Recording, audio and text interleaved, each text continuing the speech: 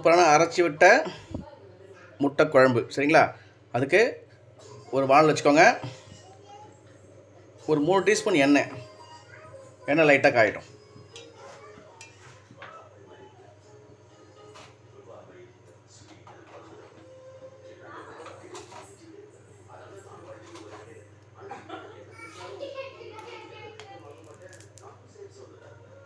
எண்ணெய் லைட்டாக காஞ்சிச்சு.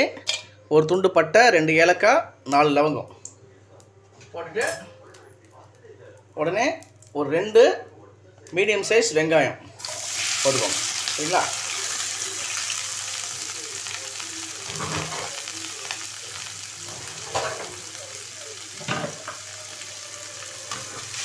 ஒரு நல்லா மிக்ஸ் பண்ணிக்கோங்க. வெங்காயம் வந்து ரொம்ப பொன்னிறமாக வதங்க வேண்டாம். ஓரளவுக்கு வதங்கிச்சுன்னா போதும். அதுக்கப்புறம் நம்ம மிச்ச ஐட்டம்ஸும் சேர்த்துலாம் இது எப்படி சொல்கிறது வந்து எப்படி சொல்கிறது ஒரு குருமா பதத்தில் வராது. ஒரு தொக்கு பதத்தில் வரும். சரிங்களா? இது சப்பாத்தி பரோட்டாக்கெல்லாம் சூப்பராக இருக்கும். ஈவன் தோசை கூட நல்லாயிருக்கும். ஸோ வெங்காயம் லைட்டாக வதங்கிட்டோம்.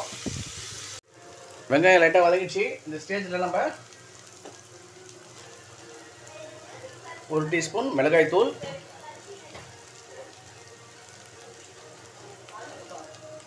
ஒன்றரை டீஸ்பூன் கரம் மசாலா.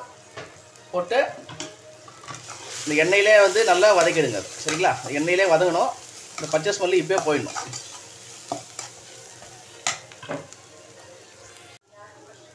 லைட்டாக வதங்கிடுச்சு. அந்த மசாலா லைட் லைட்டாக ஸ்மெல்லு போயிடுச்சு. இந்த ஸ்டேஜில் ஒரு ரெண்டு மீடியம் சைஸ் தக்காளி இதுமாதிரி அரைச்சிருக்கேன். அந்த அரைச்சதை அப்படியே போடுங்க. ஏன்னா அரைச்சி போட்டால் தான் அந்த தொக்கு பதம் சூப்பராக வரும் உங்களுக்கு. சரிங்களா? இதுமாதிரி அரைச்சிருக்கேன். அதை அரைச்சி அப்படியே போட்டுக்கோங்க.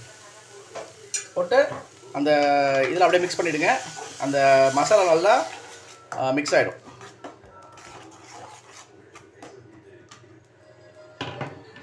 அதுக்கிட்ட ஒரு ஜஸ்ட் ஒரு டூ டு த்ரீ மினிட்ஸ் அந்த பச்சை ஸ்மெல்லு போட்டு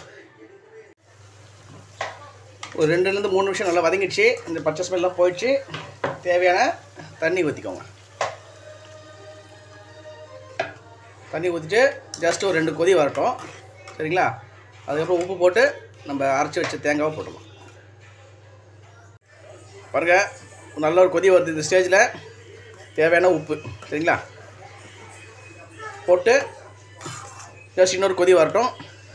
அதுக்கப்புறம் நம்ம அரைச்சி வச்ச தேங்காய். தேங்காய் சோம்பு ப- பச்சை மிளகாய் தேங்காய் வந்து ஒரு அரை மூடியில் பாதி மூடி அதாவது மொத் கால் மூடி. சரிங்களா? கால் மூடி அப்புறம் ஒரு மூணு பச்சை மிளகாய் ஒரு அரை டீ அரை டீஸ்பூன் சோம்பு. அது மட்டும் போட்டு நல்லா அரைச்சிருக்கேன் அது போடணும் நம்ம.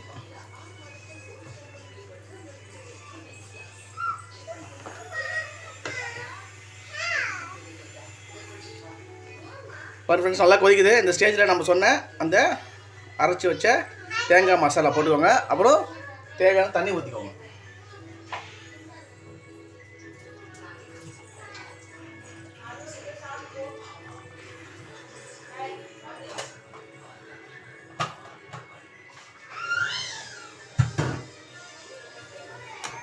நம்ம குழம்பு எந்த பதத்துக்கு வேணுமோ அந்த பதத்துக்கு தண்ணி ஊற்றிக்கோங்க சரிங்களா?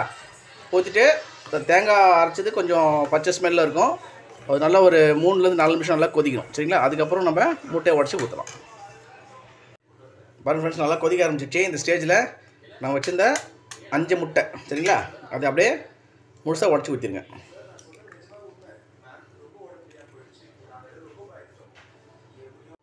ஒரு அஞ்சு முட்டையை உடச்சி ஊற்றிட்டேன் சரிங்களா? ஸ்லோ ஃப்ளேம்லேயே வச்சுக்கோங்க.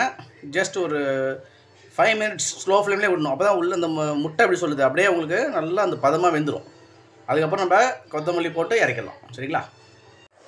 ஒரு நாலுலேருந்து அஞ்சு நிமிஷம் நல்லா கோச்சிடுச்சு மீடியம் ஃப்ளேம்லே முட்டை நல்லா வெந்துச்சு. இந்த ஸ்டேஜில் கொத்தமல்லி கருவேப்பிலை. நல்லா பொடிசு பொடிசாக கட் பண்ணியிருக்கேன். அதை அப்படியே போட்டுக்கோங்க. போட்டு ஒரு மிக்ஸ் கொடுத்துக்கோங்க. சரிங்களா? அவ்வளோதான் முட்டை குழம்பு ரெடி இங்கே பாருங்கள்